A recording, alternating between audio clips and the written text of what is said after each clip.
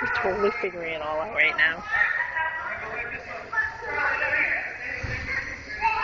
Henry. Wait for coach. Henry, you left everybody. Cool, Henry. Man, my wife was in there some soccer every day. Was up. Like he was just, it was like age group, like he was he was just up the whole thing. I just stopped making him go because he didn't want to do it. Like he didn't even run around the screen.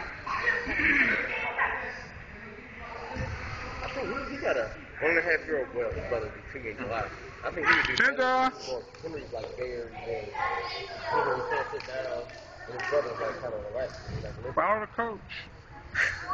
And if he was uh, a little bit bigger, I would lie and say he's three. But he, I mean, he's just too small now, like people in there.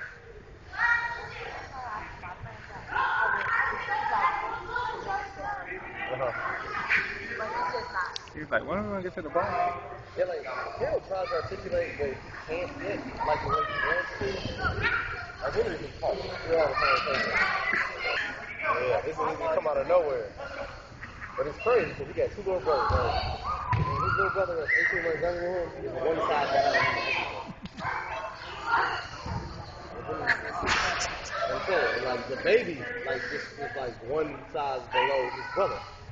So it's just like, Henry like beats the hell out of his brother. Oh my His little brother right now. I'm like, you gotta be nice to him. He might be a little bit bigger than you. I mean, if the growth keeps up at that rate. But you never can tell. Take a video. Take a video. Oh.